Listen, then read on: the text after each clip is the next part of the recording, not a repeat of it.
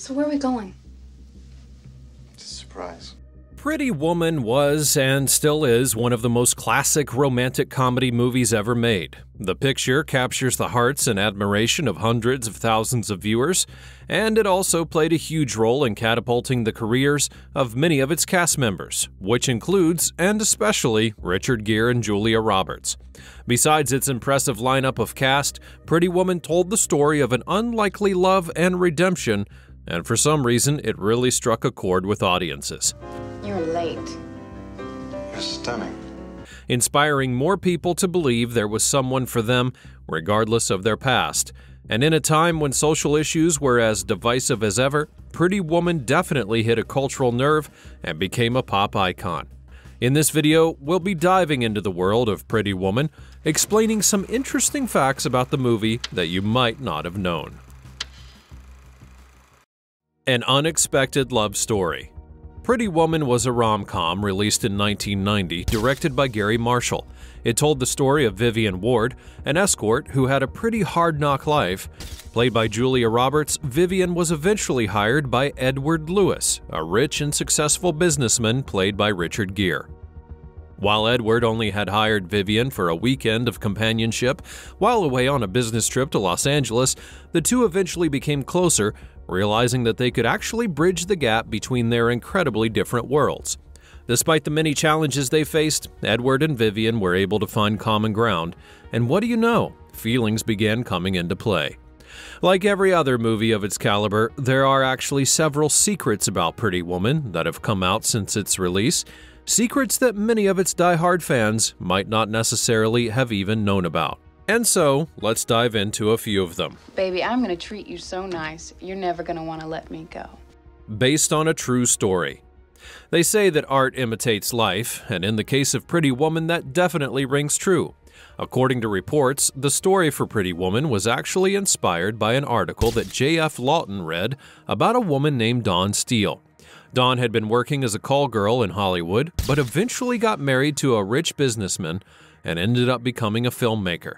Now, no one's really sure if the inspiration behind the movie is the same Dawn Steel who had founded the movie production company Steel Pictures, but still, the story of whichever woman he read appeared to have given Lawton the inspiration that he needed to make Pretty Woman. He added a little bit of Cinderella flair to the story, of course, but it seems that much of the storyline was indeed inspired by true events. Julia Roberts almost didn't get the part.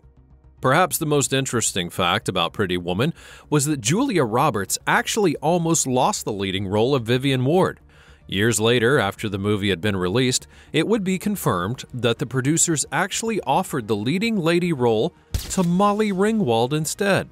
It's understandable, of course. Molly had already made a name for herself in Hollywood thanks to her roles in projects like 16 Candles and The Breakfast Club, being part of the infamous Brat Pack. So, considering that the producers wanted an attractive woman to play the role of Vivian, it must have been a no brainer to pick Molly. Sadly, though, Molly Ringwald never really thought that she'd be perfect fit for the role. In a Reddit AMA session back in 2012, she would explain that she had gotten an early draft of Pretty Woman's script and didn't necessarily like what she saw. For one, the subject of sex work did not necessarily appeal to her, and she also described the script as something icky.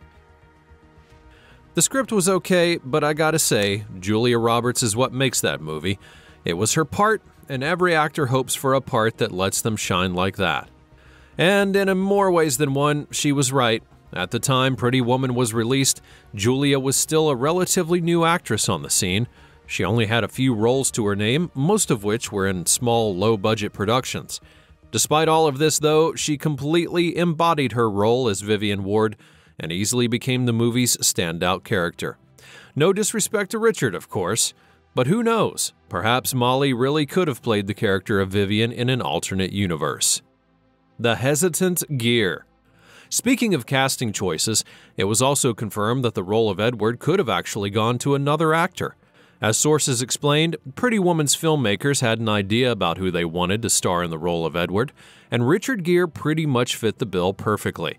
But then they offered the role to him, and the actor turned it down repeatedly.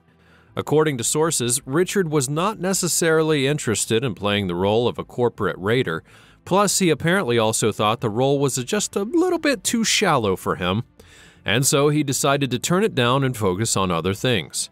But then, thanks to Julia's inclusion in the cast, he eventually changed his mind. In an interview from 2017, Julia explained that she had already signed on to play the role of Vivian. However, with Richard not being interested in the role of Edward, it became a bit difficult to find someone else.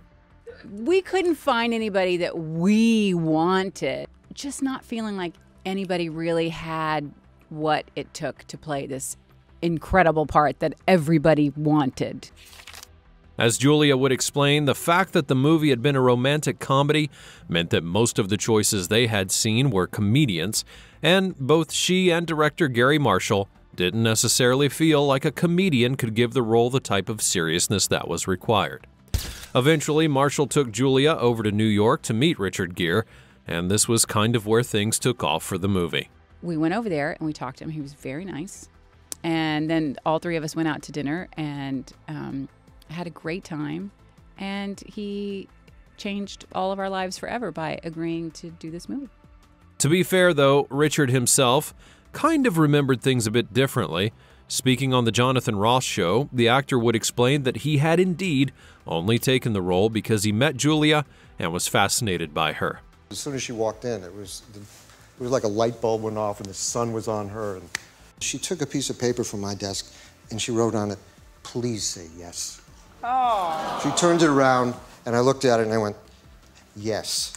All in all, it's safe to say that Julia's role in convincing Richard Gere to play Edward had played a huge part in his eventually agreeing to come on board the project.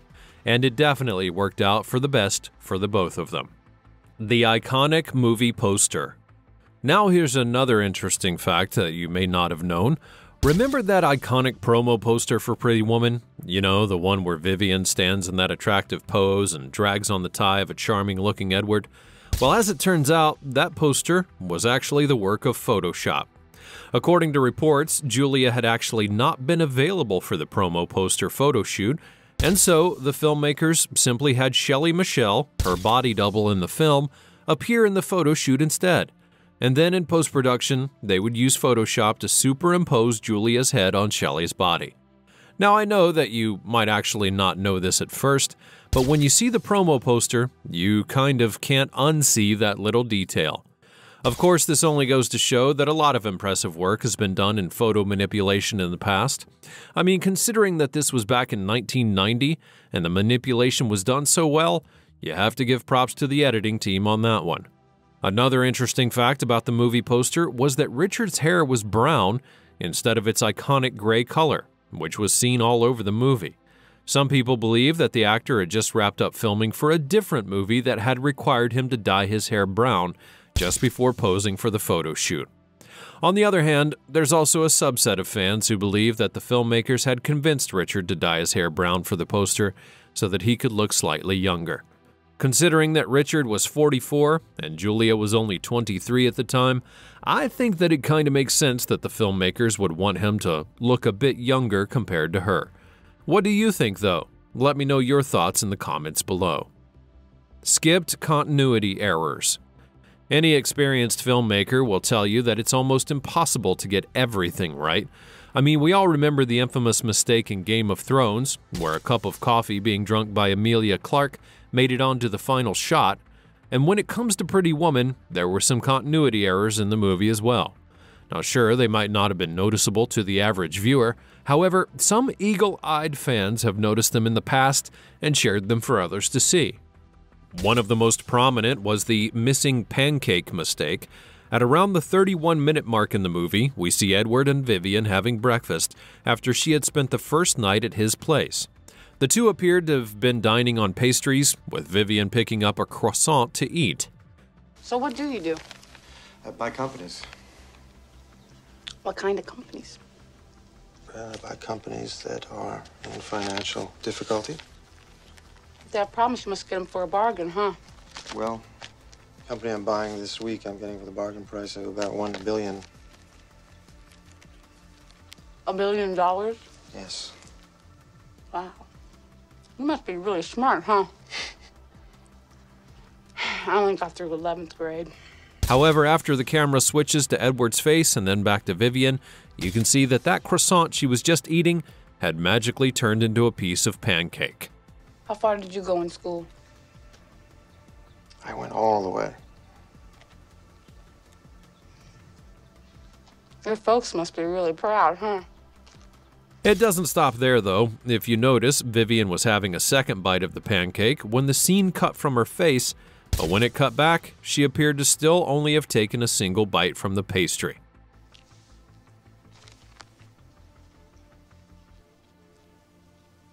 Sure, it's a pretty minor production error that you probably never even noticed if you've seen the movie before, but it's still a thing with movie errors. The moment that you see them, it's impossible to go back. An alternate title. Many filmmakers will relate to the struggle of finishing a script, making sure that it stays true to the vision they had for the movie, and then when it came to Pretty Woman, there were several things that had to be redone again and again to set things right. One of those would be the title, along with the entire script. According to reports, Pretty Woman wasn't actually the first title that filmmakers had in mind when they had imagined the project. Instead, they had planned to name the movie 3000, a reference to the amount of money that Edward paid Vivian when they first met and negotiated the price of her companionship. Interestingly, the movie had actually been greenlit as 3000, even to the point where the script initially sent to Molly Ringwald had the alternate title. Besides the title, the script for the movie was also quite different. According to sources, the script differed from the finished product that everyone saw in a number of key ways. First off, screenwriter J.F. Lawton had actually intended the initial script to be much darker. According to reports, the script was actually set to be a gritty commentary on the sex work industry in Los Angeles between the late 80s and early 90s. And speaking about the initial script, Richard Gere described it as very horrible and terrible story about two unlikable characters. Just as well, the character of Edward was actually written to be a junkie, not the suave and composed businessman that we all saw in the movie. I'm not really sure if Richard would have been the perfect man to play such a role, but who really knows? Finally, there's also that alternate ending, which was supposed to be quite dark.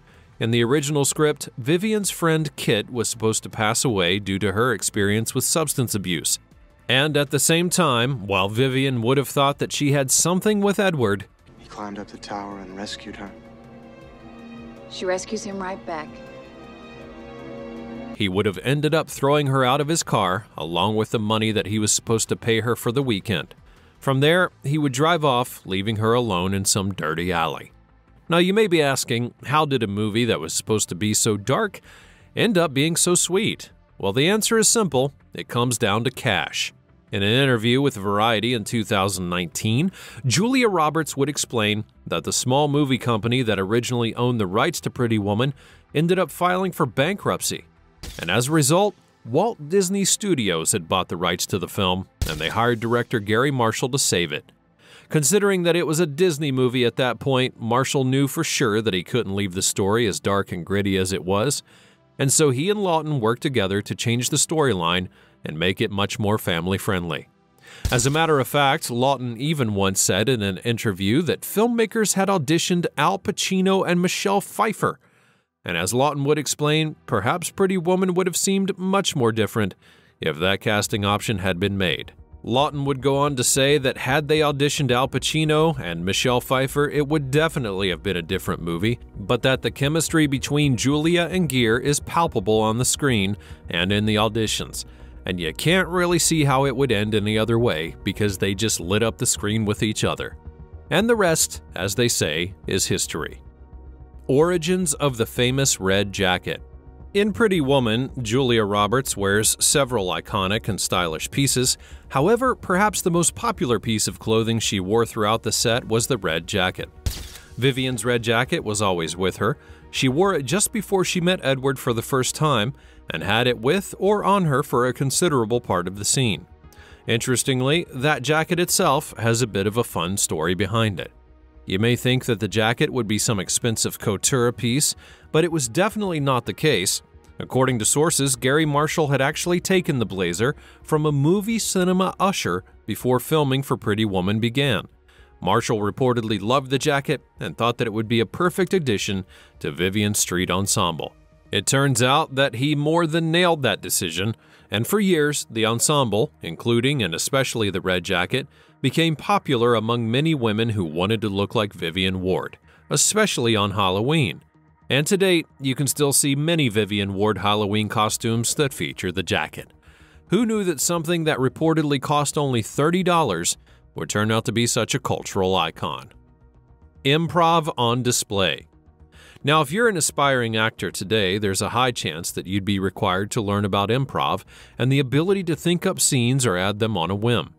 And if you're looking for an additional reason to take improv seriously, you may want to consider the fact that it played a huge role in the success of Pretty Woman. To begin with, consider one of the most iconic scenes of the film the part where Edward gives Vivian a necklace as she steps out with him. Vivian comes into his room all dressed up, and while she's looking stunning, he claims that there's still something left in her ensemble. Then he goes ahead and does this. Something in this box. I don't want you to get too excited. It's only on loan. Now, according to reports, this scene was actually improvised. The script had Vivian touching the necklace slightly before Edward places it on her neck, and they both admire how it looks. However, the slamming of the box was actually improvised by Richard Gere, and Julia Roberts' broad laughter was completely real because she never saw it coming. The director of the movie eventually loved that scene so much because it reflected Edward's playful side, as well as the fact that he had actually began to grow fond of Vivian. And so, he went on to place it in the movie instead of casting it to the side as a blooper. Oh, and on a side note, apparently that necklace was actually worth a fortune. According to some reports, it was actually made by a French jeweler and went for a staggering $250,000. The necklace featured 23 pearl cut rubies, all set in beautiful hearts and diamonds, and with such an insane price tag, it should come as no small wonder that it literally had to be guarded by security officials at all times while on the set. No one wants such a pricey diamond going missing for sure. Now, you may be wondering why the filmmakers would have something so expensive on their set, but sometimes, as a filmmaker, it's important for you to have such attention to detail as possible with your props. And that goes double when you have a necklace that's worth a quarter of a million dollars to feature in the movie, even if it does pose a huge risk of theft. I guess that's the price that you've got to pay. Another scene that showed the power of improv in the movie was the part where Vivian was singing along to the famous track Kiss by Prince while in the jacuzzi. All of a sudden, Edward walks in and asks her to be his date to an event. I just want your extra time and your kiss. Now, while you might think that this was just Julia Roberts being a little extra for the role, it appears that she actually was just being a natural. She didn't know that the cameras had been rolling the whole time, and she had been listening to the song on her Walkman. And so, when she realized that filming had begun, she just continued on with it. It's not bad for an improv actor, I'd have to say. Not bad at all. Butterflies in the Stomach. Considering that Pretty Woman was a romantic movie, you'd imagine that there were many love scenes in the flick, and to be fair, it did have its fair share of steamy scenes. However, what you might not have known was that filming many of those scenes was not so easy. As I pointed out before, Julia Roberts was only a rookie actress at best when it came to filming Pretty Woman. But on the other hand, Richard Gere had had a pretty solid career already, so when the time came for the two of them to shoot some of their love scenes, Julia had found it difficult just adapting to the entire thing. Couple this with the fact that she had never really shot a love scene in her career, and you kind of understand why the entire thing would be a bit of a challenge for her. Still, though, if you saw the movie, you would never have imagined that she'd ever have such an issue. Richard the Talented. Now, it's no secret that Richard Gere was a very capable actor. I mean, why else would the producers of the movie ask him several times, and even ask Julia to go and convince him? However, while Richard's acting chops were all on display, he had also showcased another impressive talent that he had, and that was playing the piano. If you recall, there was a scene in Pretty Woman where Vivian found Edward playing the piano in the hotel lobby.